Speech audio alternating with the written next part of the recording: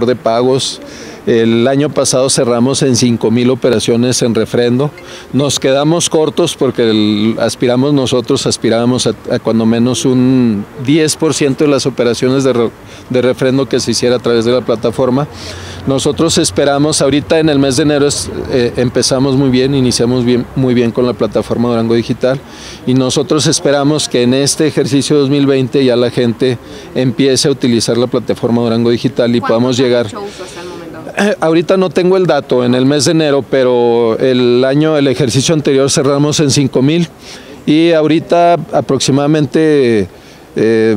seguramente llevamos ya alrededor de unas 200 mil gentes o un poquito menos que han refrendado sus vehículos. Entonces yo espero que de esos 200 mil, cuando menos un 5% lo hayan hecho a través de la plataforma Durango Digital.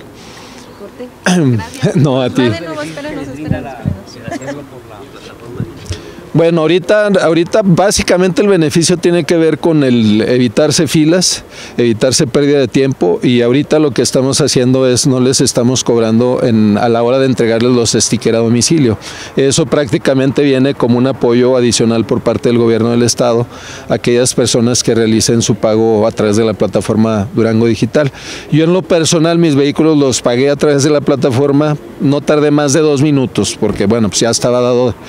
de alta, ya estaba registrado. Entonces es muy eh, fácil de operar, fácil de manejar, este, pero sí, bueno, pues yo entiendo que los contribuyentes o los ciudadanos eh, eh, evidentemente tienen que tener, tiene, tiene que empezar a permear una cultura en el sentido de hacerlo a través de estas nuevas opciones digitales, donde la ciudadanía se pueda sentir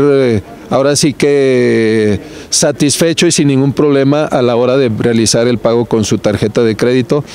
que no es más que realizarlo a través de cualquier otra tienda de conveniencia o cualquier otro este cualquier otra empresa.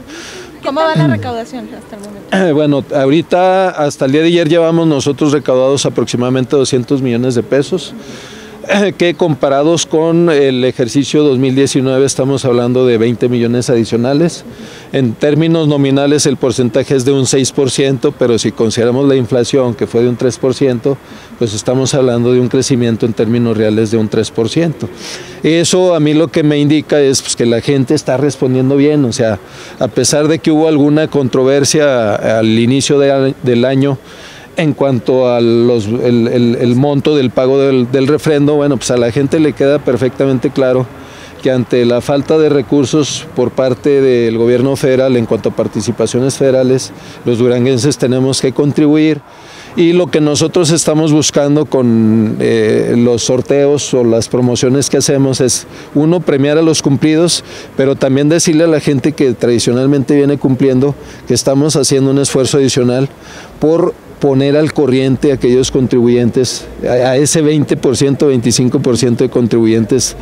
que no vienen, que no vienen cumpliendo, bueno, pues les hemos estado enviando requerimientos, hemos hecho esfuerzos adicionales que no se habían hecho en los últimos ocho años por parte del gobierno del estado, para que todos aquellos que traen rezagos en cuanto al pago de su refrendo lo puedan hacer este, obviamente pues metimos programas y esos programas este, nos ayudaron bastante y nos siguen ayudando porque el crecimiento que tenemos ahorita en términos reales en mucho es personas que eh, venían incumpliendo y que en este ejercicio 2020 vienen regularizando su situación.